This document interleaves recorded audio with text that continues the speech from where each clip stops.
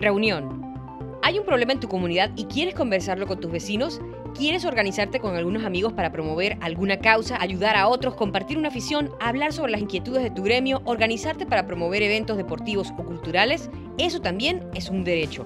Puedes juntarte con otras personas de manera formal o informal, hablar de lo que les preocupa, expresar lo que les apasiona, participar en actividades colectivas o simplemente celebrar.